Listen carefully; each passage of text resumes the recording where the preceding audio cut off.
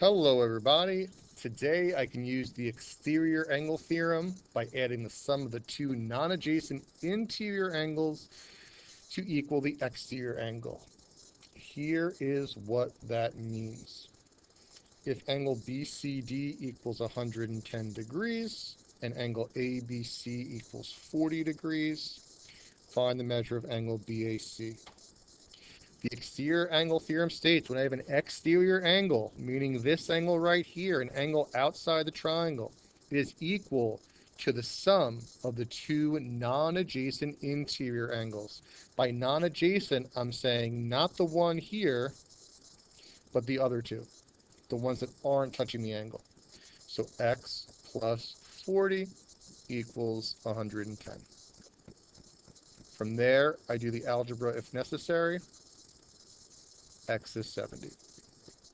And that should make sense because 70 and 40 add to equal 110. The two interior angles not touching the exterior angle add to equal the exterior angle. Let's jump to number three.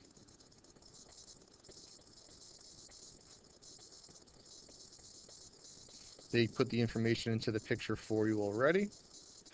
Well, I see an exterior angle. I know that the exterior angle is equal to the sum of the two non-adjacent interior angles. So I'm going to add the interior angles to equal the exterior angle. From there, I do algebra. I combine like terms. 4x plus 50 equals 6x Bring all the x's to one side.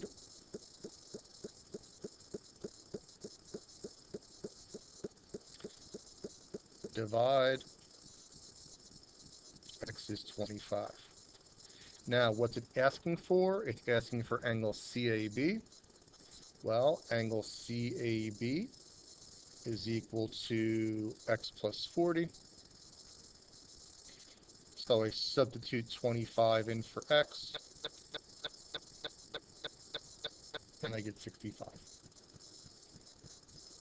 The exterior angle is equal to the sum of the two non-adjacent interiors. By non-adjacent, the ones not touching. Let's take a look at one more just in case. Number four, I have to put the information to the picture on my own. BCD, that's angle C, is 6x plus 2. BAC, that's A, is 3x plus 15. And ABC, that's angle B, is 2x minus 1. Well, the exterior angle is equal to the sum of the two non-adjacent interior angles. So why don't you take a moment and pause this and see if you can create the equation on your own. Okay, now you had an opportunity to try it on your own the two interior angles, 3x plus 15 plus 2x minus 1 equals the exterior angle. From there, we do the algebra. 5x plus 14 equals 6x plus 2 minus 5x minus 5x. 14 equals x plus 2. Subtract, subtract. 12 is equal to x. It's asking for x, so I'm done. If it asks for one of the angles, I would substitute in.